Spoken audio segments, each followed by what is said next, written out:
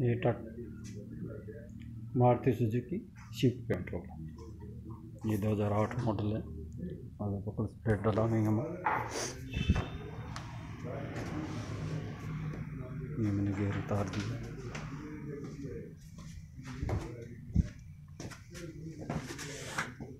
ये fly wheel है ये क्लच प्लेट डाउन होने की वजह से सारे नट टकराए गए हैं।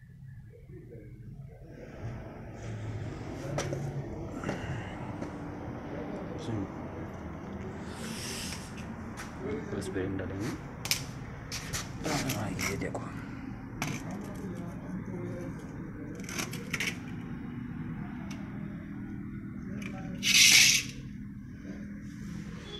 ये हमारी ये